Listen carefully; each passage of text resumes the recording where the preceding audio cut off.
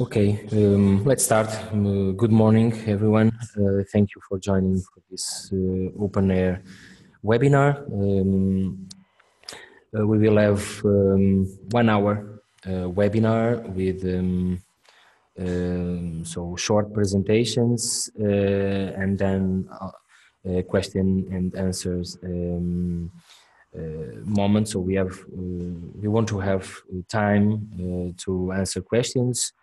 Uh, we have some questions already that you have um, sent us uh, via the registration form, but you can also put other questions. So use the question and answer button to ask questions. You can ask questions during the, um, the presentations from uh, the speakers, from Thomas and, and Prodromos, uh, but we will try to, to answer the questions after the, the presentations. But if you if you have a question just in the in the moment that they are presenting you can just put the, the question and we will answer uh, at, at the end. So um, it's really a pleasure to to have uh, so many participants and so many people interested in, the, in this webinar. So um, the, the webinar we will have um, Thomas Margoni from uh, Glasgow University and Prodromos uh, Tsiavos from Athena Research and Innovation Center. Um, we are all part of the, the OpenAIRE team, collaborating in different areas of, of OpenAIRE, from from the, the training and the policy activities to also some support to technical to technical activities. And we we will run this uh, webinar. So I will give in um, three four minutes. Um, really a short overview about the, the support materials that OpenAIRE have available, focusing on the, the new uh, support materials that we have related with, um, with um, legal issue and, uh, and, R, and RDM uh, issues. And then uh, we will have um, uh, Thomas Margoni presenting uh, the guides and the content that we have from copyright licensing and research data guides. And then um, addressing the issues related with personal data in open science, uh, Prodromos will also present uh, the guides, the content, and highlight some of the, the, the main issues that we have when we address this kind of uh, topics. Um, and then we have already selected some questions and answers from the registration form, and you can also put other questions during the, the, the webinar. So uh, OpenAIRE uh, have um, an open science help desk. We have uh, we run the help desk uh, based on different kinds of um, uh, support tools. So we have some support materials like the guides that we are presenting today, fact sheets, FAQs. We, have a ticket system that you uh, all the um, the users from researchers to research support staff can use to ask questions. And of course, we have direct support at the national level run by the National Open Access Desks. We have several um, activities uh, related with, so specifically uh, training activities, so like webinars like we are doing today and the workshops. We have several workshops already planned for 2019. Please check the, the agenda in the, in the OpenAIRE portal. And uh, um, we, we have also some activities uh, around all the, um, the support and training for the new uh, OpenAIRE services and, uh, and products. Uh, specifically, um, so um, we have several um, uh, support materials related with the issues that we are discussing today, so the legal issues, um, and, and, and also around research data sharing and management. Uh, so we have um, uh, I would like to highlight uh, that we have uh, two primers, um, so where we have a kind of the basics about open science, open access to publications, and research data management. We have the, the guides. so I, I, I really want to highlight that we are, are um, updating the guide section in the portal like every month we uh, since uh, October that we have released the new OpenAIRE portal. Every month we have two or three new guides, and we will have the same uh, until the summer. For sure, you will find new guides um, targeting different stakeholders and and the approach, uh, so related with different topics, uh, you can uh, check the, the, portal, and also, as I said, check the agenda of the of the workshops. Uh, we have several uh, fact sheets, and uh, so we are always updating also the FAQs. And um, this, this, all these new materials are, are, also due to the fact that now we are pushing to have like a kind of task forces uh, to build more capacity and um, capacity on the three main areas: research, data management, uh, open science policies, and the legal issues. And the result of this uh, push to have more uh, support and training um, content related with uh, legal uh, is the fact that we now have several guides, new guides available, and this is what we want to uh, to present you during this um, this webinar to highlight the new guides that we have related with copyright licensing and personal data that we have available already in the in the portal. So we will focus mainly in these four guides and then other topics that thomas and prodromos will will um, identify as relevant for all of us. So how do I know if my research data is protected? How do I license my research data and can I reuse someone else's research data? Are the guides that we will highlight related with copyright and licensing and then related with data protection and open science, how to deal with sensitive data and, and Prodromos will um, for sure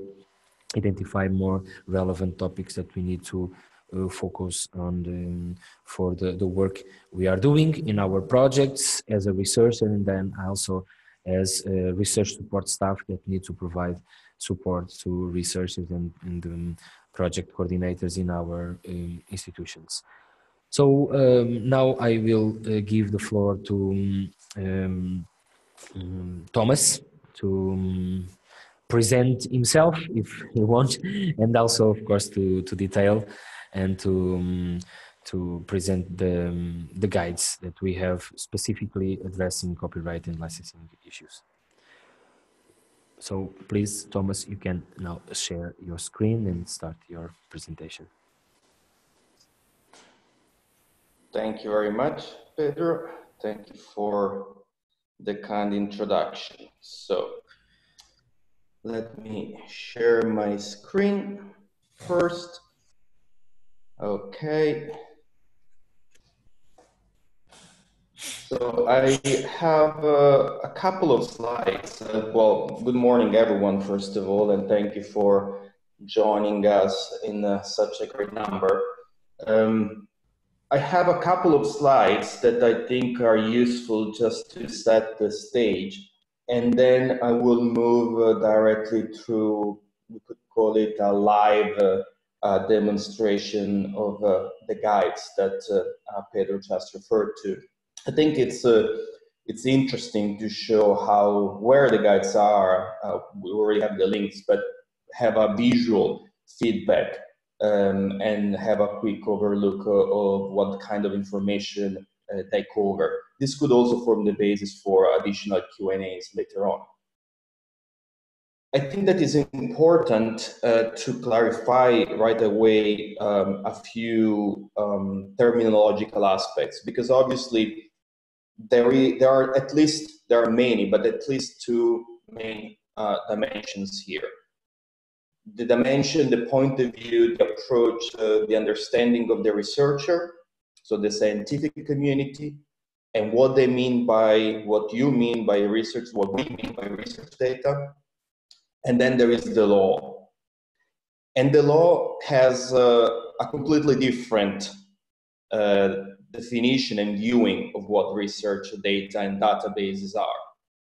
And I think this is a first major uh, element that has to be addressed because often it happens that uh, we think we're talking about the same things because they have the same name, data or research data, but as a matter of fact, in our heads, in our mind, in our disciplines, we are talking about very different things.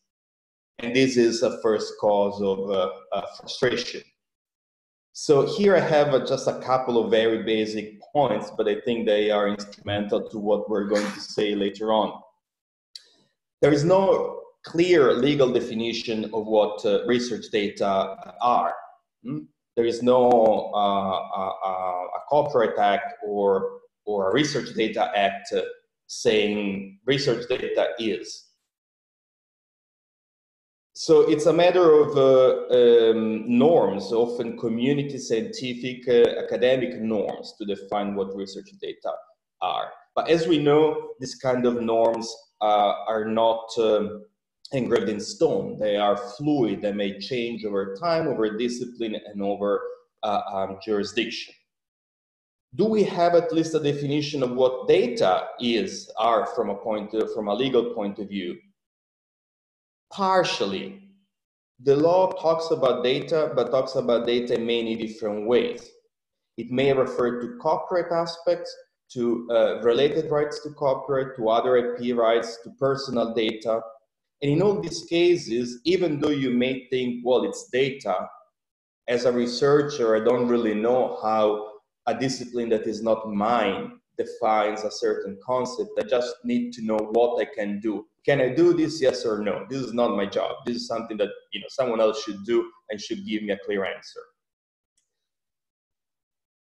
That's what we're trying to do. It's not easy. It's not easy because the law attaches very, very different consequences to different categorization. And this is what we're trying to do today and throughout the guides. But I think that right now, what is really important to understand is that it's not sufficient, even for you as researchers or as PIs, it's not sufficient to say, well, this is data. You have to go a step further. Um, it may not be what you want to hear, but uh, um, you need, if you go a step further, it's going to be a lot easier for all of us, including for us, for the legal expert, to give you more specific feedback on what you need to do. Having clarified this introductory aspect, uh, in my in the first part of this presentation, I will be focusing on aspect of copyright, related rights, database, and licensing issues. Whereas in the second part, Prodromos will be talking about uh, personal data. And the reason why we treat them separately is because, uh, believing it or not, they are very different legal concepts and they behave in very, very different ways. And this is a very important aspect to keep in mind once again. So we have produced uh, from the, let's say, copyright point of view, um, three main guides that uh, I will show to you in a moment from the portal the first one is how do I know if my research data is protected? The second one is they should follow uh, some sort of a logical narrative. First of all, you need to know whether what you have is protected. Once you know whether and how it is protected, you want to know how you can license it, meaning how you can tell other people how to use it.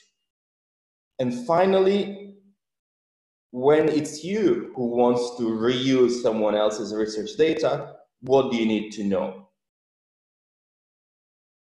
To complement these three guides, we have uh, um, an additional uh, companion guide that uh, uh tackles directly repositories, but is something that I would nevertheless uh, recommend you to have a look at, especially if you are in charge or in coordination of research projects which is how um, to make your uh, repository open science compliant.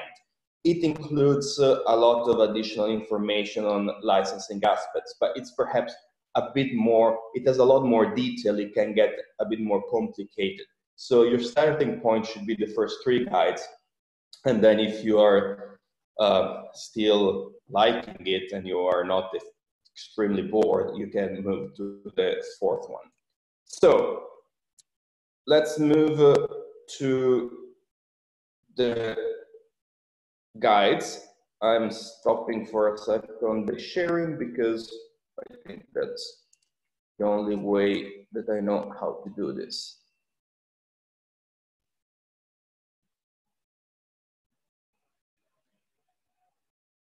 Okay, so hopefully everything worked fine and we are all seeing um, the first guide. Yes, yes, yes. It's everything okay.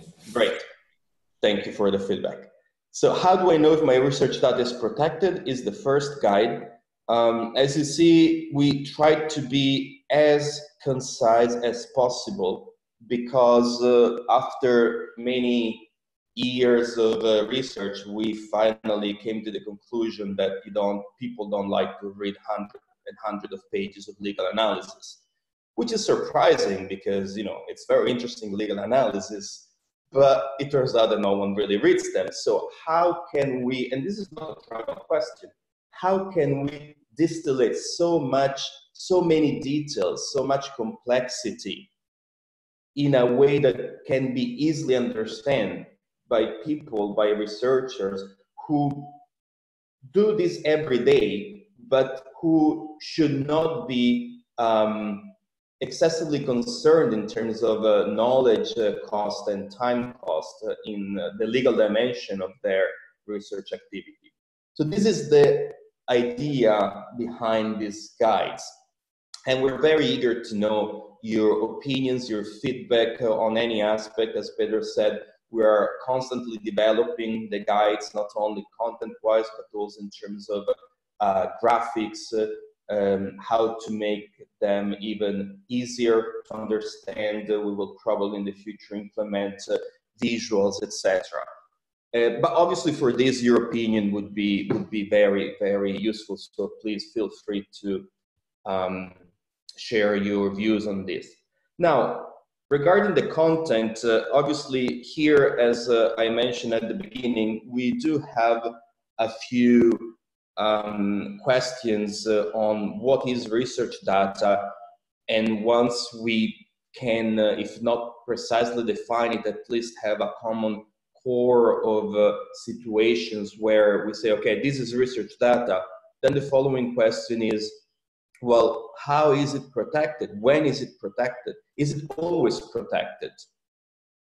I would say we'll not go through uh, all the text. Uh, we don't have the time, and I think it wouldn't be very useful. But I invite you to go through it. What I will offer you is a general overview um, of uh, the um, of, of you know what how to determine or what are the main legal issues here.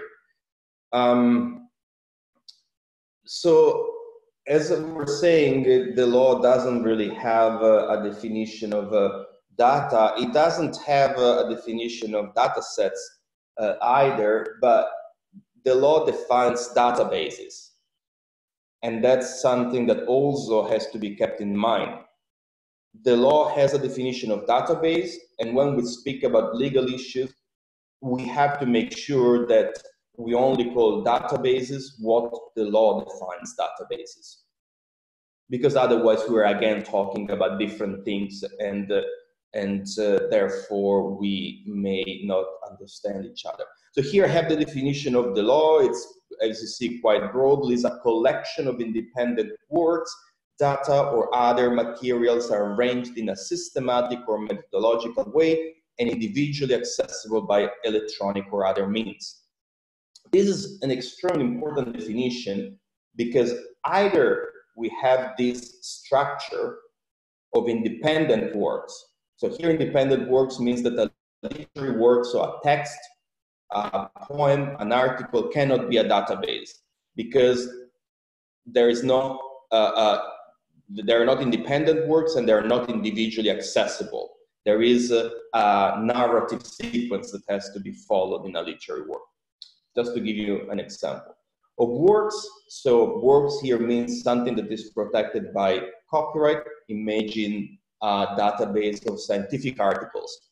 Data, not really defined, but something that is not work. So measurements, um, numbers, uh, um, everything you can think of could potentially fit into this uh, definition of data or other materials, but they have to be arranged in a systematic or methodological way.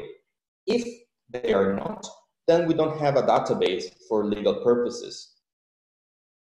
Obviously, things are not uh, this easy because uh, the law says that, well, if this systematic and methodological um, organization is original, and we see it in here in copyright, then there is a copyright in data in the database, but only in the structure. It doesn't extend to the data. So if the data composing the database are not protected themselves, a database is only a form of protection for the structure, for how you have uh, selected or arranged those data, not for the data themselves, which I understand can be quite counterintuitive. And on top of this, we have this weird word that we saw already, the sui generis database, right, which is a purely, so what I said so far, imagine that more or less applies everywhere in the world. There may be differences, but not too, too marked. In the case of the sui generis database, right, we're talking about a, a purely European creation. This right is what, in, as a matter of fact, can protect uh, data. So you still have to have the, the database, regardless of whether your collection is original or not, if you have put, and the definition is a substantial investment in obtaining, verifying, or presenting the data, then you have this additional right that protects extractions of substantial amounts of data. So it's not a single datum that is protected, but if someone else's want to copy your entire database or a substantial amount, then this uh, generis database right uh, will forbid that.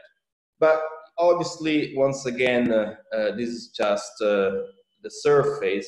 There are many other considerations to be made um, chiefly, for example, the fact that the sui generis database right only protects data that has been obtained, not data that has been created. And this is a very uh, important aspect because that's trigger, triggered a lot of litigation um, uh, in Europe about what data, uh, when a certain amount of data has been created or obtained, and obviously, don't make the mistake of thinking with a scientific uh, uh, mindset. Um, it's not an epistemological analysis that the court will do often, sometimes they do, on whether, you know, you create a data when you record a measurement or the data already existed, you're just obtaining it from nature. Here, uh, a lot of attention is paid to the to competition aspect. So are we created a monopoly right over single source databases? If this is the case, probably the data will be considered created and is not protected. If the same amount of data could be independently obtained through measurement from you know a competitor, then probably the data is obtained and uh, there is no sui generis database right protection. Sorry, I won't say anything else about this because uh, I understand it's complicated, but I want to give you a dimension of what the law is saying about these, uh, uh, these uh, aspects and what we cover in the guides.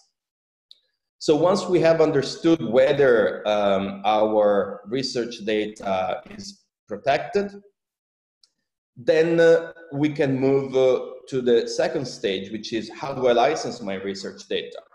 Now, here maybe uh, we are more familiar with some of uh, these uh, concepts and topics, and we refer to licenses. Obviously, a common mistake is to think that a license protects something. That's wrong. It is copyright or rights that related to copyright, such as the you know database right, that protect, and they are automatic, so you don't have to do anything uh, when you create something, uh, when you write a piece of code, when you uh, write a scientific article, you're already protected by copyright as author. So you don't have to do anything. You don't have even to write down your name or you know the usual um, copyright notice a circle C. All those things can help, but they're not necessary. So copyright protects you. A license is a permission. License means permission.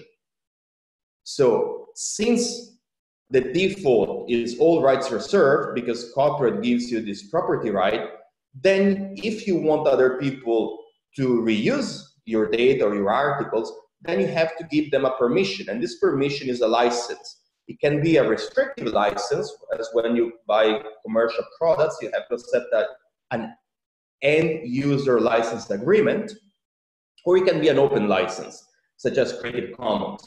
In this case, um, we are talking about licenses that allows you always to reproduce, redistribute, etc., uh, etc. Et but there are conditions. Now we go through some of the conditions, um, but these are normally well known. We have other uh, more basic guides that explain how Creative Commons work. If you know this is a question, we can uh, easily go there. A normal debate here is uh, well, uh, uh, I have to apply a CC BY or a CC zero to my uh, database. It depends, right? So what normally we recommend is CC0 because if you apply a CC BY, you are requiring attribution for your data when the law doesn't really request attribution because there are no more rights of attribution for data. So by applying a CC BY, as a matter of fact, you are restricting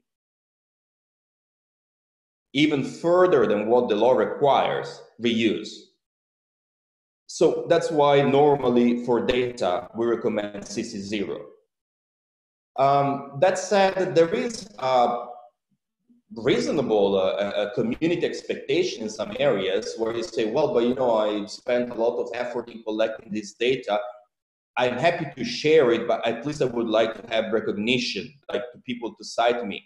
Well, you can obtain this in two ways. You can do CC0 and then kindly request that uh, uh, attribution is given to you.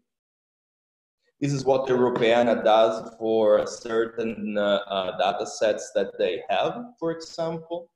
But this is not legally enforceable. This is just a, a request. But it's a, it's a norm, it's a, a social norm in the scientific community, like when you cite someone. So normally it works. If you really, really want to get attributed, then you can apply a CC BY. That's, you know, maybe not uh, the best of the best of the best of the solutions for open science approaches, but it's still something that if you really want, you can do. You're restricting the reuse of data to some extent, but you're still open access compliant. Important to keep in mind that uh, um, non-commercial and non-derivatives are non-open access compliant. So if you have to publish in open access because your funders require it, requires it, and uh, you cannot use uh, uh, those conditions. Very quickly to the last slide, also for the sake of time, uh, can I reuse someone else's research data? This is somehow um, logical uh, follow-up from the previous slide. Well, you need to, there needs to be, well, you need to know whether the research data that you want to reuse is protected or not often it is not protected. If it is protected, then you have to look at a license. If this license is CC0, then you can do almost anything you want. If this license is CC BY, or if the license, sorry, just to follow the, the structure uh, of my previous uh, uh, guide, if you if the license is CC0 plus uh, a kind request to attribute, then you know legal obligation it's CC zero, but there is a moral obligation to attribute uh, when you reuse uh, the data to the original maker. If the license is CC BY, well then there is a contractual obligation uh, to attribute in the way that is specified in the original database. Obviously these are just the it's let's say the broad picture. It's how you should approach uh, the questions or the problems when they are presented to you as uh, researchers as uh, uh, uh um, PIs as research coordinators. But obviously normally there are much more specific issues and questions um, and we are happy to um, to answer them or discuss them further or even include them in the guides. But what is really important is that from the outset, you understand these basic rules. Uh, you have to understand that uh, as researchers, you need to have at least a basic understanding of how the law regulates this area, because if you do it, you may avoid certain mistake at the very beginning in the phase of designing your research experiment. That if you made this mistake, it would be much, much, much more harder to address them later on.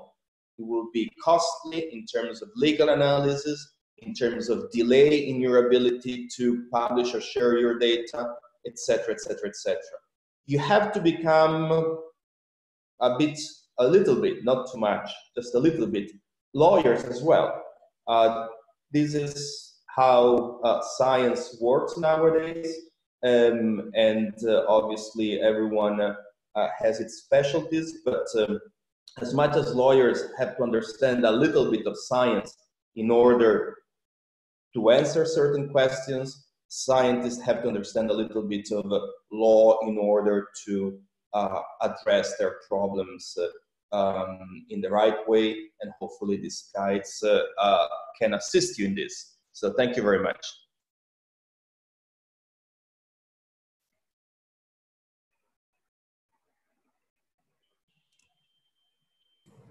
Okay, thank you. Thomas. So um, we have already some questions we will answer at the end, but now um, we give the floor to Prodromos. Please, Prodromos, can you start? Okay, perfect. Thank you. You can uh, put in presentation mode if you, yes, perfect. So. Excellent. All right. Thanks everyone and thanks for being in this uh, webinar. Uh, it's always exciting to see that there are many, many people interested in uh, legal issues and uh, hopefully they're going to be slightly more enlightened by the time we, we, we have finished our presentations. So um, adding and following up from, from um, where Thomas has uh, left us, I would like us to talk a bit about the research data, the GDPR, and ask the question how open is open so how how basically can we really have open science in relation to the uh, general data protection uh, directive uh, regulation because what we very frequently hear is that uh, okay this this piece of data set has personal data so what can i do with it does it mean that i cannot really release it or I cannot really release it openly. And I always, when I start talking about this issue, I start with the title of the GDPR uh, which people don't read. But if you read it, you will see that it has two objectives. One is the protection of uh, the personal, uh, of the natural persons in relation to their personal data, but it's also the free movement of such data. and it's crucial to understand that the objective of the regulation is not to stop the flow of data, but actually to facilitate that. It's just that it needs to happen within a particular framework. So um, there are five uh, elements which I would like to uh, discuss with you today in relation to personal data and open science uh, in order to see what are some very basic and very frequent questions and issues we are facing and how can we tackle them. The first thing is to uh, actually understand the setting, to understand what we're talking about. It's not always research that takes place within a single organization. Uh, but in, in multiple settings. So this is crucial. The second thing is to identify what we want to do with the data. The third thing is what is our legal basis for performing any processing. The fourth thing to understand how these maps on the data management plan or the data lifecycle. And finally, how the data subject may exercise her rights. In this presentation today, I'm not going to go through basic definitions because we don't have the time and we have quite a bit of that in, in our fact sheet. Uh, but um, um, I think we will return with a more comprehensive uh, guide uh, in relation to how I um, remain uh, compliant to the GDPR while opening my data. So the setting, uh, there are cases when the researcher will actually do uh, research within a research performing organization. In that sense, you're bound by the legal requirements, which is the implementation of the GDPR that has happened in your country, in your member states. And if it hasn't transposed um, the uh, regulations, uh, which by the way, um, they have a direct effect. So the GDPR has a direct effect since May 2018. So it's not necessary for the, your country to have a national law, but because it contains some elements which require further um, elaboration by the national legislature, um, it makes sense to check your national law if it exists. Uh, so one framework is the big framework, the laws in your country and the GDPR. And the second one is if you have an ethics framework with your, your institution. So the first thing you do is that uh, in, in quite a few institutions before um, a research project, internal research project is approved, you need to go through the ethics committee, which very frequently is going to uh, ask questions related to personal data as well. What becomes a bit more complicated is when you have uh, an EU or other collaborative project, and there you need to see the ethics and data protection requirements set by the consortium. Now, this of course has to do with the national law, but also it has to do with third countries. For some reason, the autocorrect made it fourth countries, but I mean third countries.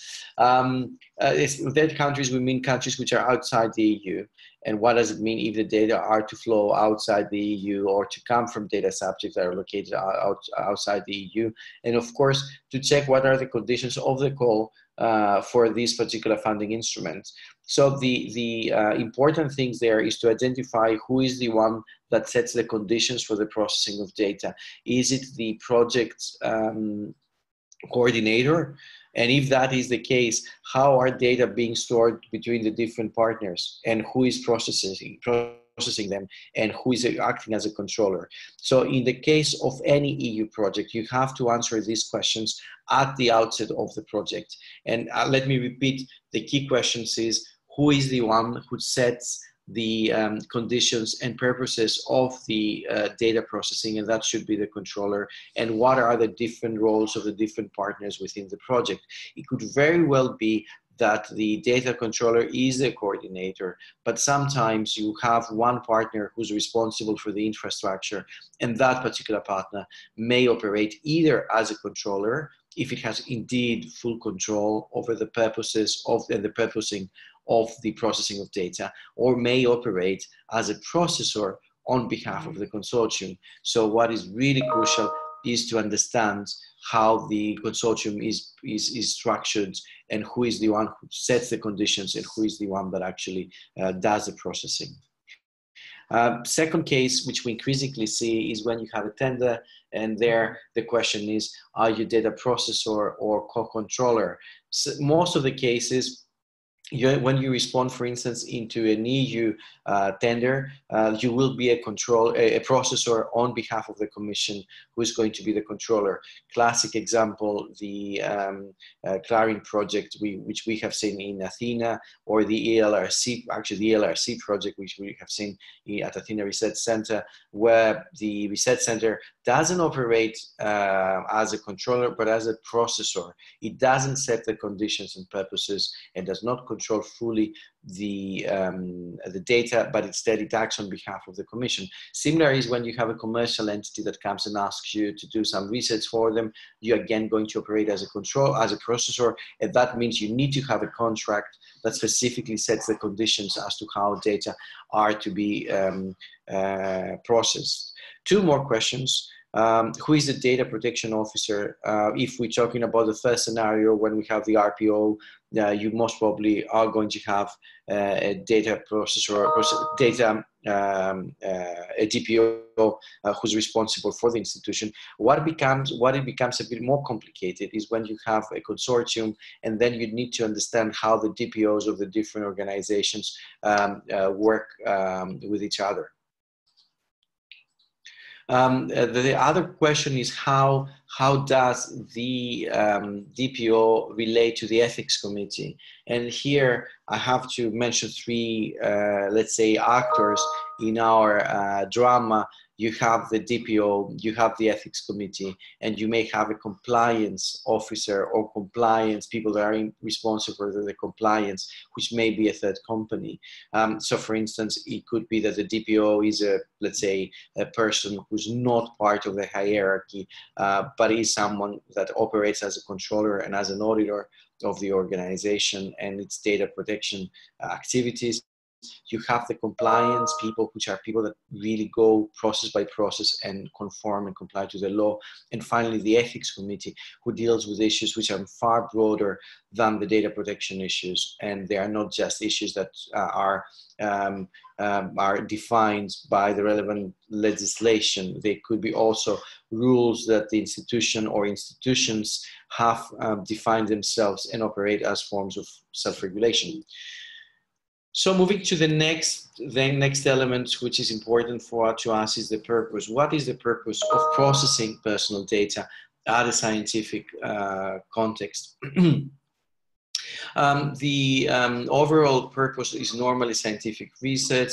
A very important article for us is Article 89 of GDPR, where it sets the conditions for what constitutes scientific research the, the um, regulation provides a very broad definition. It doesn't necessarily mean you're an RPO. It could be that you're a private company or a public sector organization. Uh, scientific research is any kind of research you may be conducting, um, and um, it, it, doesn't mean that it is commercial or non-commercial. So we have a pretty broad um, uh, definition of what a scientific research is. Now, the specific type of research may be useful because it explains us and it gives boundaries and limits to as to what we can do with this data. So, for instance, if I do a social research and I get this kind this data from, let's say, a particular segment of the population in a city, in order to, for instance, just a fictional an example, to assess urban and housing conditions, I cannot then use this um, data for, uh, let's say, direct marketing. So uh, there, there is, um, that's why the type of research is necessary and it needs to be defined at the beginning when we try to set the conditions for research. And of course, uh, we start normally with one condition and as we'll see later, we may change the purpose and this is a big problem. We have to see how we accommodate it. So what happens when the purpose changes over time? The purpose always has to fit within a particular uh, legal basis. And when the purposes change, uh, then we have to check whether they're covered by the new legal basis. So moving to the legal aid basis, mostly the, the GDPR provides six basic um, legal bases and another 10 for uh, specific types of um, uh, processing um, the uh, the question the question that we have uh, here is uh, how how do we define uh, this um, uh, legal basis in terms of research? Uh, we normally would say this is public interest. Um, but in cases when we have a tender, the legal basis may be a contract. And when you want to conduct specific research for with sensitive data, what we now call special categories of data, we may be talking about consent. I always suggest that we go for consent only um, is not our first option. We will do it only if it's absolutely necessary. And here you see a list of the six basic legal bases and what we normally do. The green light, the green uh, color is the public interest because that's our primary uh, legal basis. That is what most research institutions are using. Legal obligation is when you do the research um, or as part of uh, an obligation you have. We're not going to see that frequently or at all um, because normally the public interest legal basis covers us but it could be that we work under contract or consent um, in cases like the ones that I mentioned before, contracting, tenders, consenting, a very specialized research where you want to do things and you want to absolutely make sure that you get the consent by the data subjects. The legitimate interest is the last one, and I have it in red because I think it's a highly risky uh, legal basis. It means you don't really necessarily ask the data subject if they agree or not. You assume that your legitimate interest is not uh, harmful enough for the data subject, and hence any legitimate interest type of research requires that you have done an impact assessment. I, I really discourage uh, research organizations to to actually do uh, base their research um, on legitimate interest. They could very well do it with public interest, and if they require specific things, they could go for consent. Here also on this table, what you see is that um, the uh, the groups on the top, uh, there is no discretion uh, is part of the things you do uh, because you have to do because of your organization uh, purpose as a research performing organization. The more you go down, there is discretion. You may choose to conduct it or not, but there you you are asking uh, the the data subject subject to provide consent as well. So how do we actually do the whole thing? We need to trace the life cycle of the data. We need to follow the data.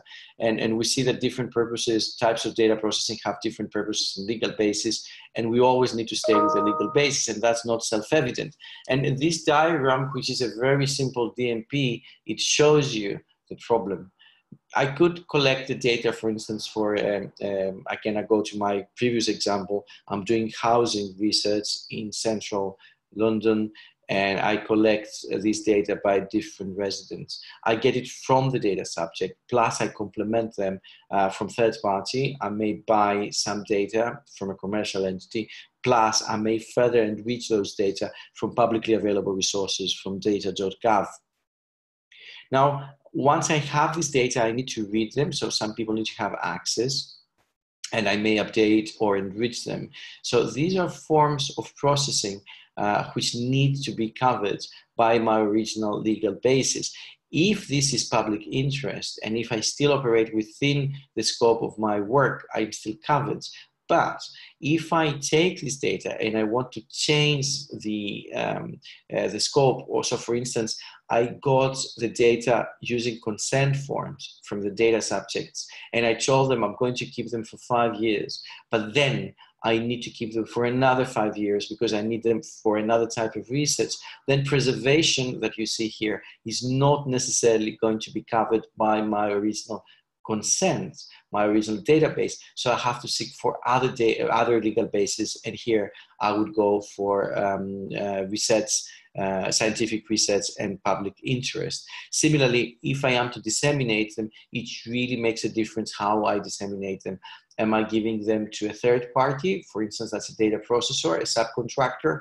Unless I have these covers, at the point of collection of the data, it's very difficult to make such changes. Also, can I pass this data further to other researchers?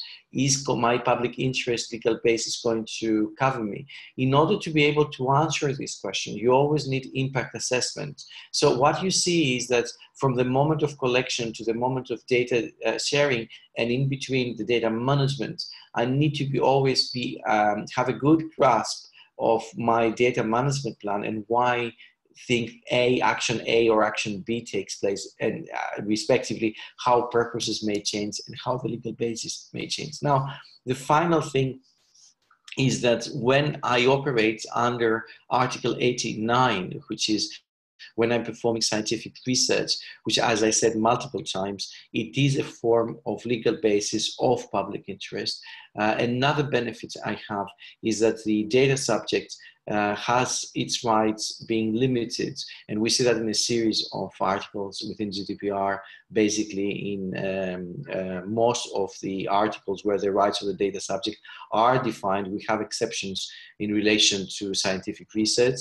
Um, the, the, the law, uh, the General Data Protection uh, Regulation identifies three types of exceptions that uh, are related scientific research, statistical purposes, and archiving.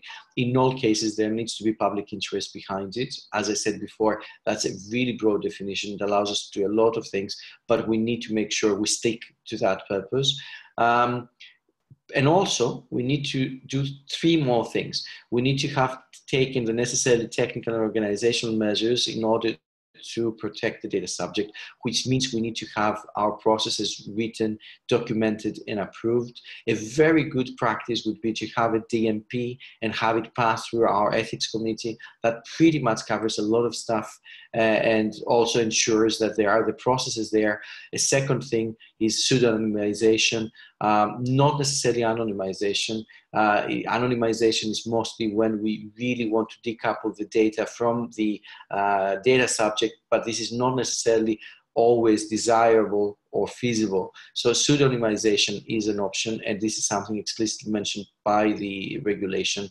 And um, the condition which actually makes us understand whether we are in or outside the scope of the uh, regulation is whether any kinds of um, request from the data subject to exercise their rights is likely to render impossible or seriously impact the achievement of the objectives of that processing, which pretty much gives us a lot of space for actually not having always to give access or explain why we're doing X or Y with the data. Having said that, this needs to be not unnecessarily or uh, abusive. I mean, this is something we need to do within the scope um, of, of goodwill. And of course, it is necessary to always have um, uh, data sub to also have notices and provide the data subject with the relevant information so to sum up, uh, what we see is that um, uh, if we do uh, personal data processing within the context of uh, the uh, open science, it is something that could be done.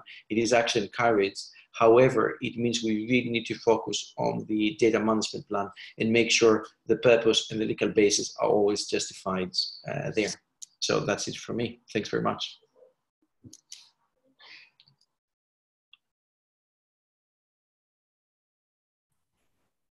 Many thanks, uh, Thomas and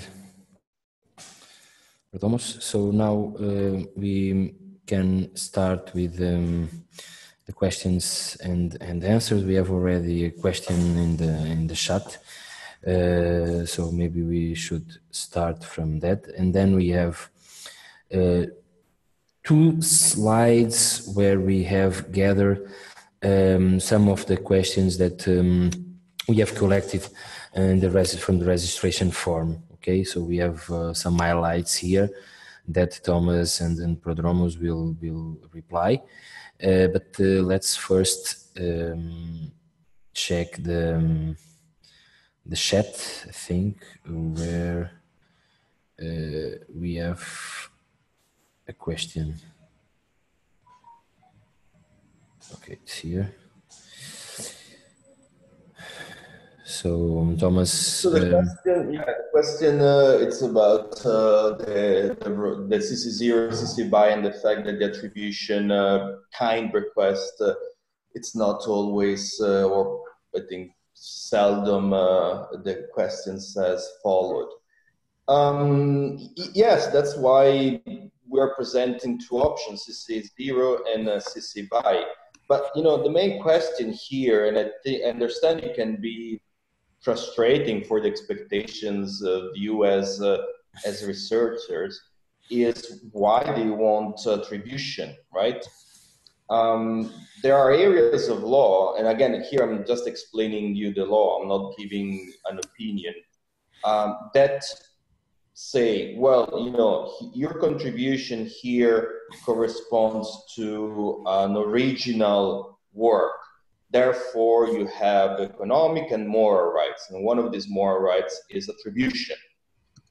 Uh, in that case, the law tells you, well, because you're putting the, rhetoric would be part of your personality into the work, then you deserve, from a moral point of view, to be recognized as the author, and therefore attribution has to be given. So, for example, when uh, uh, there is an you use a work for purposes of, uh, say, um, quotation, then you have to attribute. The law uh, evaluates data, and we're talking about data here, differently. In fact, data, as we saw, very often it's not protected at all. You don't like it? Well, you know, we have to see what is the scope of the law and what is the scope of the life of, uh, sorry, of, um, of science and open science in general. Is it the promotion of uh, the personality of the researcher, or is the promotion of science in general? So it's a public or a private goal that uh, being pursued here. Uh, the law, in, uh, in, for the law, the answer is quite clear. Data, raw data, and structured data is not protected, therefore you can do whatever you want. Now, if you decide to limit it contractually, even with a contract that is quite uh, uh, liberal, such as CC BY, you are reducing the space. Um, and therefore, the main recommendation for data is CC0 because it's uh, the license that uh, um, mirrors better what uh, the law considers to be protectable or not protectable. That being said, in our guides, we clearly say, well, if you feel strongly about attribution, then use a CC BY. Um, but you know what I would invite you to do is not to critically, as researchers, apply CC BY. Think of the consequences. If you think, well, you know, in this case, you know, it's just some data collected there, there is no really much value in it. Why restrict them further? If you feel strong, really strong about them, apply SCC BY. Um, I think it's suboptimal, but still uh, fully open access and open science compliant. The important thing is to avoid uh, more restrictive uh, uh conditions such as non-commercial. Okay, thank you. So, um, Thomas, let's try now to do the exercise. So let's um, have uh, maximum like 50 minutes. I think it's not easy to, to do it, uh, to answer all the questions, but um, with your effort, uh, Thomas and Prodromos, let's let's see if we can do. So we have here like a set of questions that uh, people put in the the registration form.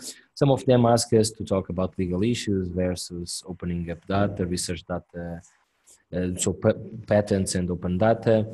Uh, but we have two questions here um, about. Uh, I think you have already addressed this during your presentation about um, so raw uh, raw data um, and the specific. Um, uh, so, uh, do you have anything to? Let me let me just say that you know let's not try to you know be like to try to create. Uh, um, well, how do I put this? I don't know. Anyway, um, we have, if you want, so one thing is to say that uh, research data as such they are not protected by, uh, let's say, they, they, they, do not they do not qualify as a database for the purpose of, uh, of the law.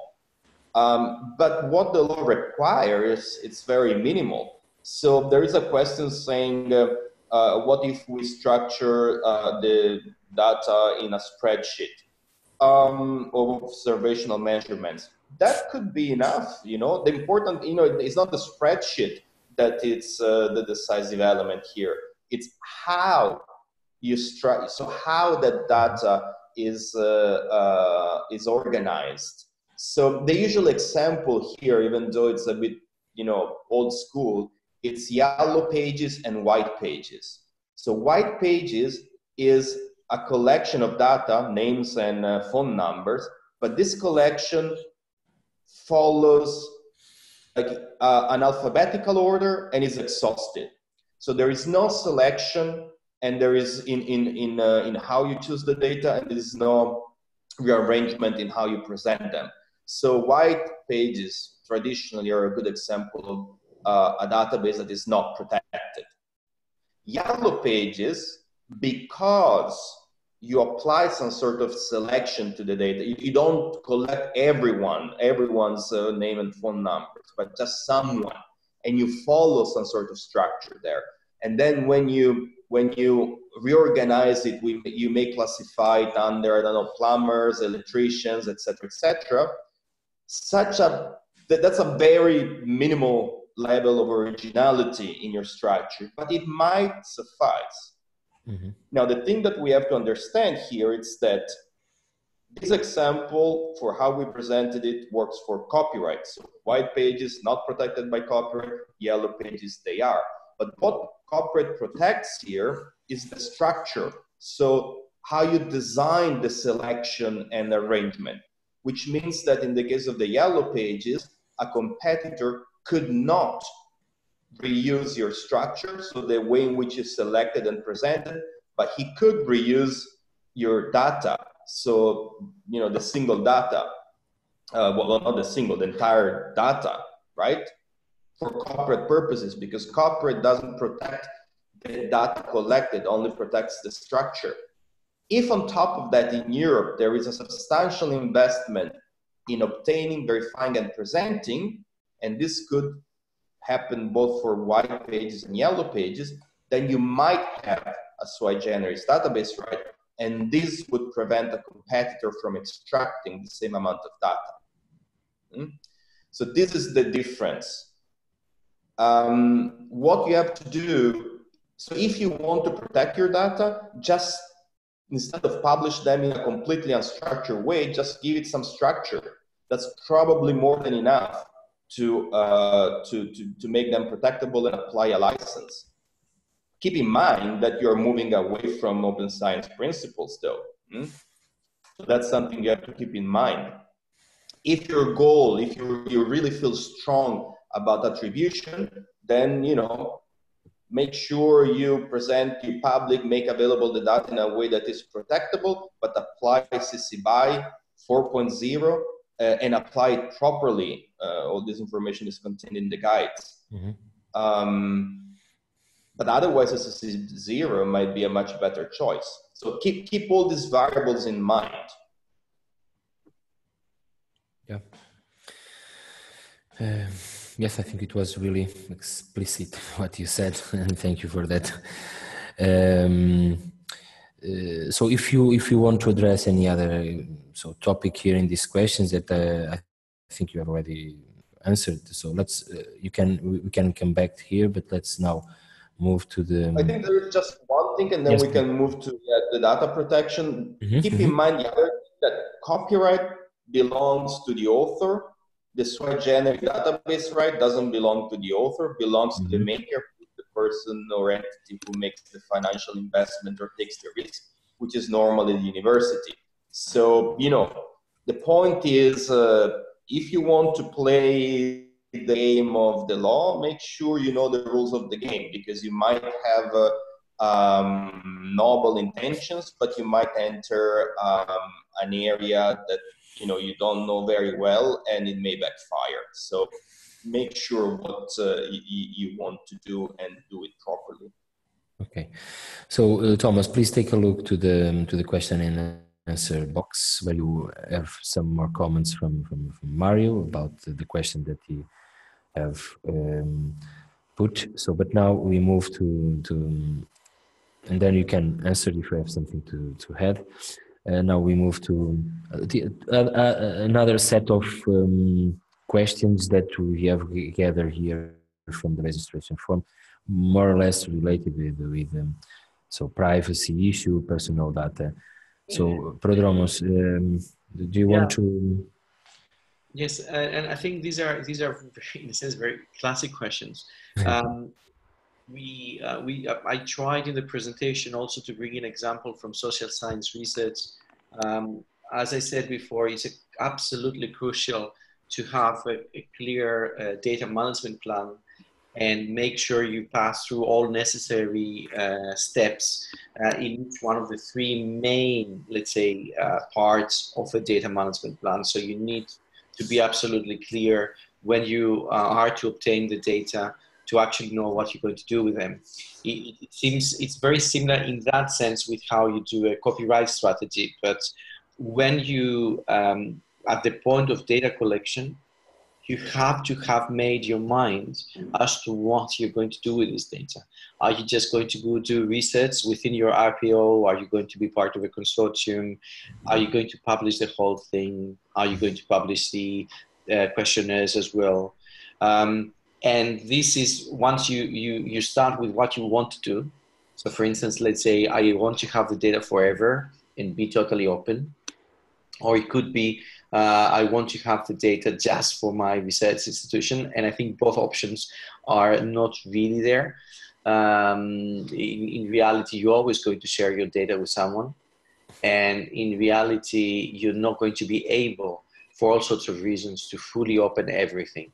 So you need to understand what is the purpose of the whole thing. Why am I doing that? So if it's social research, which is about writing a paper, but it's also something which needs to be further verified by other researchers or be part of my data collection in, in my institution, or I'm doing that as part of a European project, then I need to know uh, which are the ethics rules within the context of my research. So uh, I use a housing example, but it could be that I do public health uh, research or I do research that relates to uh, minority groups um, or anything that has uh, special categories of data, what we, used to call sensitive data. in that sense, of course, I have to comply with the law. It most probably means I would get, need to get consent. It would mean that the consent has, the consent forms have to be very thoroughly checked um, I, by your legal department or, and, and also to be seen by your DPO. They will also have to pass through your ethics committee. You should have a standard process as to how um, you um, cl you clear uh, things of uh, legal and ethical issues, and then you proceed with your research. Um, that sometimes sounds awfully bureaucratic. It may take ages, but I, am afraid there's no other option if you're doing research that contains personal data. Now, in terms of patients' data, there uh, it becomes a bit more um, difficult because we don't just have uh, the personal data rules, we're going to have ethic rules which relate to the university and ethics rules that may relate to the hospital or the national health system of that particular country. And here, uh, it's not such the, only the data. If you're dealing with uh, biobanks, you also have another set of regulations biomaterial and material transfer agreements. So I'll leave that totally. I, I, consider that outside our discussion. If we talk about single patient uh, data, you, you, you check what is the data protection rules in your country uh, or your region. If we talk about a transnational project, um, you check the ethics committee of the university or the research center and the ethics rules and committee of the hospital. Now, uh, can we anonymize them? Uh, it depends really. Um, if this is not, I, I, would say that pseudonymization tends to be better because you can trace it back and this may be relevant to your research. But anonymization is not just, or pseudonymization is not just a technical process, it's very much a procedural thing. Um, so it has to do with how you have access to this data and how you return to them.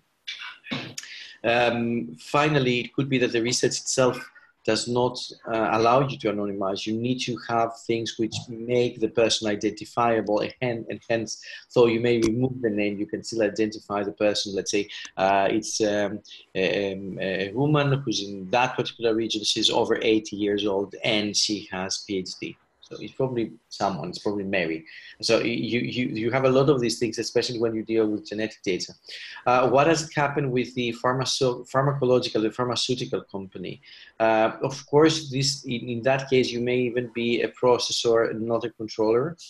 Uh, it may provide you uh, limitations that have to do with sharing or archiving, but these are not going to be necessarily limitations related to personal data or ethics.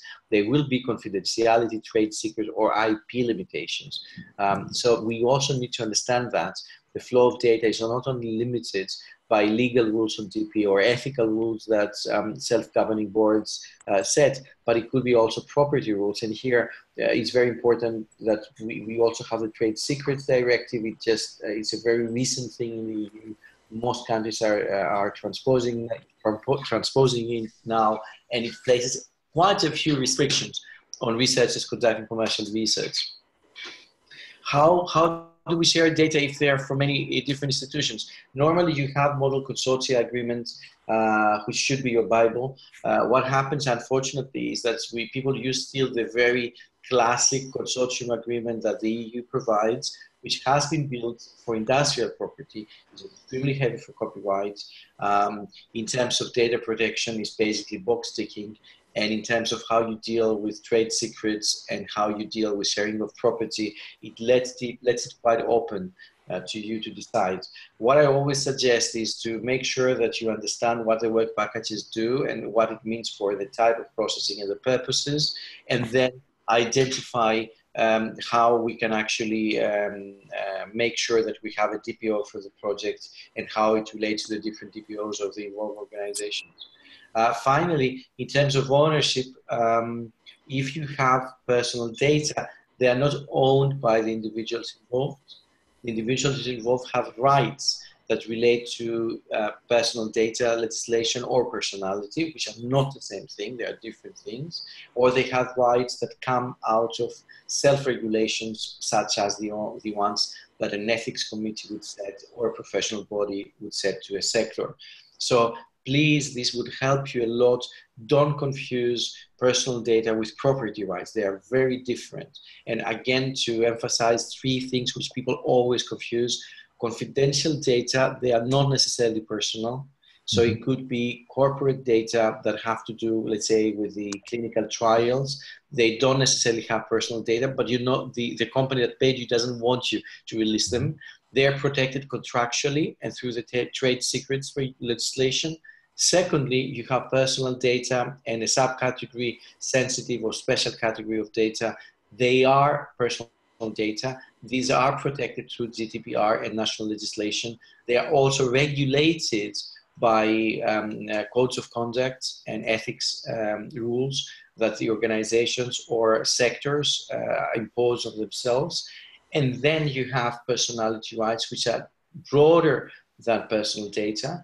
And they may have to do with rights on images or um, rights that actually relate to the personality of the end of the individual. And then finally, you have hardcore property rights, intellectual property rights, copyrights related rights, sui generis rights from the side, let's say, of the things that look more like author's rights and similar types of things. And then you have industrial rights, patents, uh, trademarks, uh, trade secrets, plant varieties, um, uh, protected uh, names of origin, etc. So these are hardcore property rights. So please don't confuse these three, these three things, confidentiality, personal data, property rights, intellectual property rights.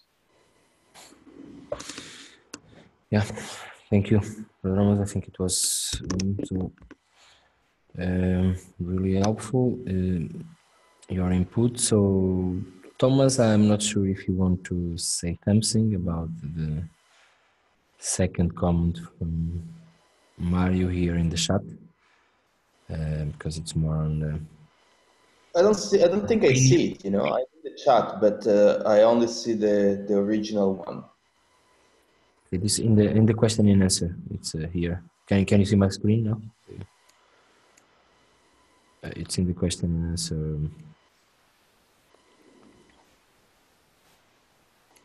Uh, can you read it? I see, your, I see your screen, but I don't see which one is it. Okay, uh, maybe you don't. See, so, but you don't see the oh, question. okay, okay. Now, sorry. Okay.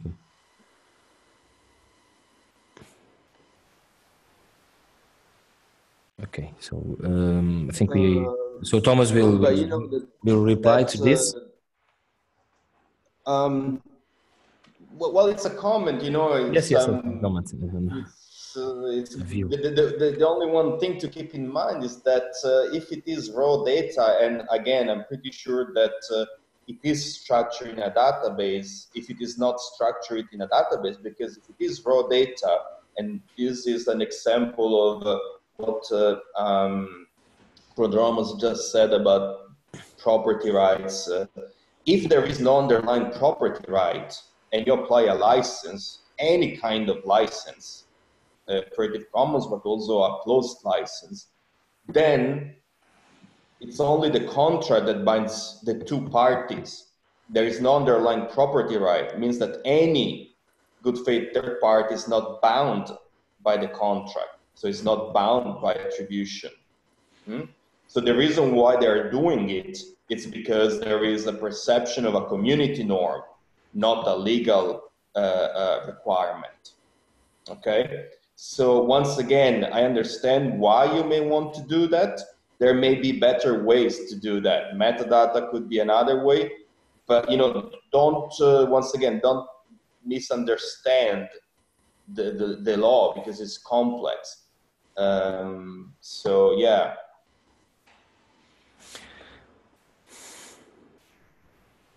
Okay. Uh, not not sure if you if um, you want to say something to finalize. I will just to finalize the webinar. But Prodromos, Thomas, if you want to have a final remark, just say it now, and then we will um, close the. No, I think we we like to hear uh, any possible feedback, um, both on the webinar and on how to develop further uh, the guides. I think yes, this is important, and we can say yeah. we can do something uh, after the webinar based on the on those that have participated. I think the the the, the copyright is quite well developed. Um, what I would be very interested in is, is from these presentations to get some feedback. What would people like to see uh, in terms of um, of a guide on personal data? Is the I, I try to be extremely concise because of the limitations in time we have but um, uh, I think we would greatly appreciate some indications as to what they think they are mostly interested in so that we can then uh, produce a guide uh, which is, is more oriented to these needs. I, I try to mention the basic things. How do you set up um, in terms of data protection a project? What you should take care uh, of when you conduct the project? Which are the main issues related to the DMP and open and, and GDPR? But uh, it could be that there are other things people are interested in. So please give us feedback. Yeah. So many thanks. Just before I, I close the, the, this webinar, I just want to do three final remarks. So we will ask you your your your your contribution and your comments. Uh, it's quite important for us to have your feedback. But I think it's important also to highlight that the way that we are trying to organize all these new uh, guides around um, legal issues, but also others around open science, research data management, is trying to have so real user um, questions, so real needs, so real doubts, and then we can place it as a question and we try to to address and answer and put information via these these guides. And as we have the national open access desks, we have a strong network network delivering um, several presentations, several training um, um, in different countries and uh, um, via the, the NOADS, the National Open Access Desks, we are trying to collect this kind of questions and, and doubts. And it's, uh, it's why we are putting also the, the guides in this, in this form.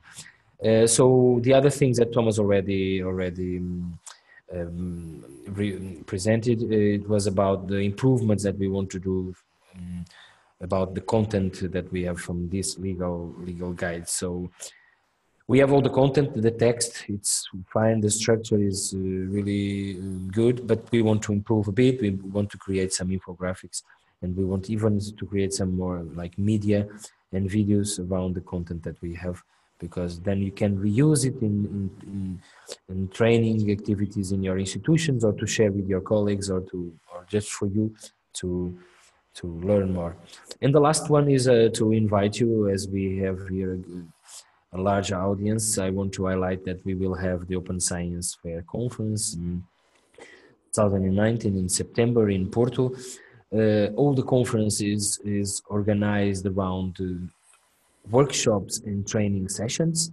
Um, we opened yesterday the call for um, proposals for uh, workshops um, and posters and demos also. So we don't have like papers traditional conference. It's more an interactive conference. So I it's why I'm inviting you because for sure we will have um, also we will address also some issues related with um, uh, legal issues in open science. So um, put in your calendars if you if you can make it just participate and come to to to to Porto um, because I'm in Portugal right now to, to participate in this uh, in this conference.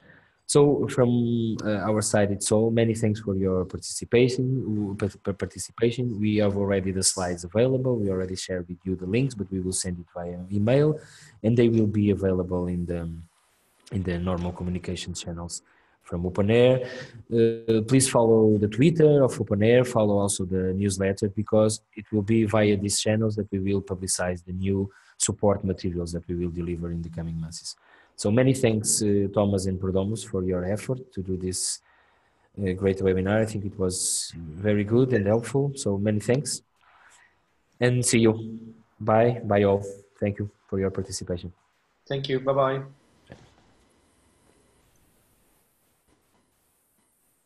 Bye. Thank you.